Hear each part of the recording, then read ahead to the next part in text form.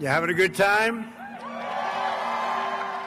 Our nation is witnessing a merciless campaign to wipe out our history, defame our heroes, erase our values, and indoctrinate our children.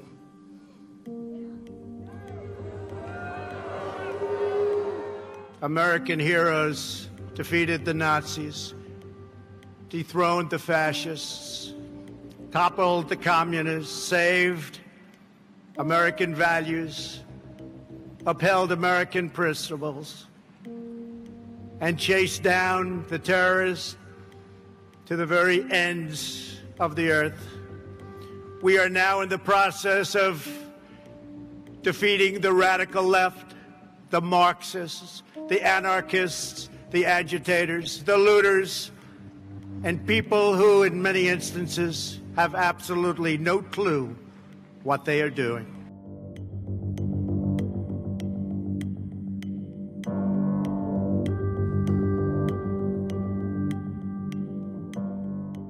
We will never allow an angry mob to tear down our statues, erase our history, indoctrinate our children, or trample on our freedoms. One of their political weapons is cancel culture, driving people from their jobs, shaming dissenters, and demanding total submission from anyone who disagrees. This is the very definition of totalitarianism. There is a new far left fascism that demands absolute allegiance. They are determined to tear down every statue, symbol, and memory of our national heritage.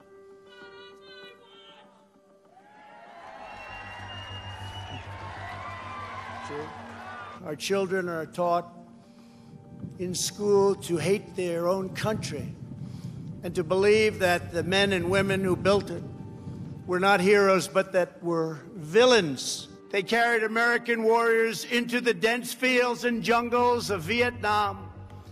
They delivered a swift and sweeping, and you know that sweeping.